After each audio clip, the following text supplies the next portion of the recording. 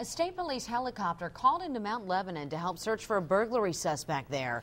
Dispatchers say that a homeowner actually walked in on a man burglarizing their home on Shady Drive. Police then started searching a nearby cemetery. So far, though, no arrests here. There have been several overnight burglaries reported in Mount Lebanon over the past week. A